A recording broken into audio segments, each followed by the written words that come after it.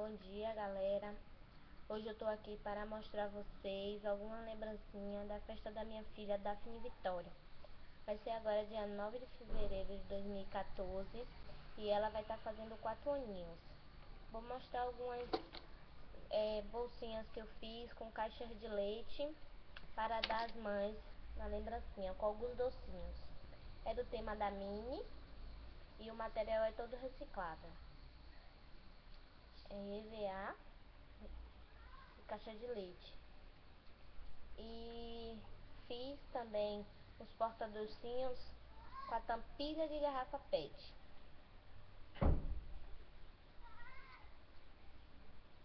Esse é meu primeiro vídeo que eu tô fazendo hoje. E depois eu vou vir mostrar alguns dos meus vídeos, o passo a passo. Se você gostou, dá um gostei joinha e até a próxima.